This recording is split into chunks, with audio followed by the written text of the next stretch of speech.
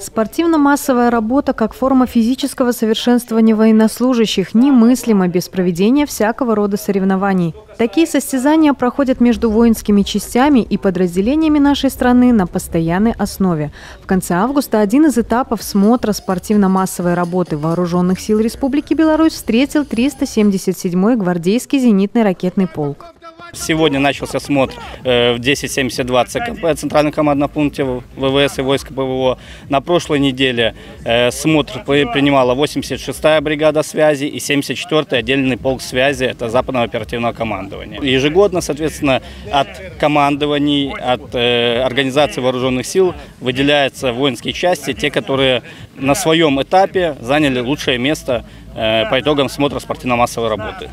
В программе смотра сразу несколько дисциплин. Это бег на различные дистанции, подтягивание на перекладине, метание гранаты, контрольные упражнения на единой полосе препятствий и комбинированное силовое упражнение.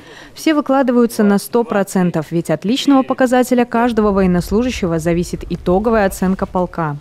Физическая подготовка является одним из основных предметов Вооруженных сил Республики Беларусь. Веяние времени говорит о том, что чтобы победить врага, надо быть сильным, здоровым и верено подразделение, которое приходит под мое начало обязательно знает, что физическая подготовка – это основа успеха. Те результаты, которые показывали на тренировках, они были ну, послабее, чем сейчас. То есть люди настроены, люди настроены на победы, на, на успех, и в принципе мы к этому движемся. Результаты гораздо лучше. К смотру спортивно-массовой работы подход более чем серьезный. Подготовка проходила в усиленном режиме. Случайных упражнений здесь нет, только те, которые могут пригодиться в бою.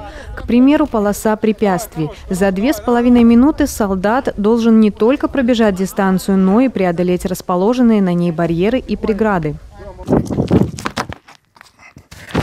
Оказывается, это не надо тысячи шажков делать, чтобы Нет. пробежать. Руки в сторону, держим равновесие. Держим.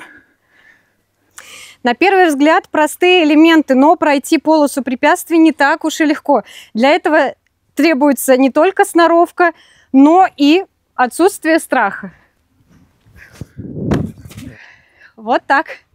По итогам смотра конкурса отличившимся солдатам и офицерам присваиваются спортивные разряды и степени военно-спортивного комплекса.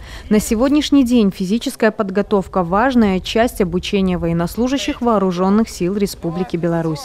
Евгения Гончаренко, Сергей Пальцев, телеканал «Звезда».